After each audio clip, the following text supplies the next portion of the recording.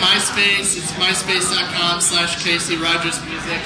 And uh, I just recorded some songs like two weeks ago, and these songs are up there. They're also for sale for like $4. So the song's called Sorry Friend.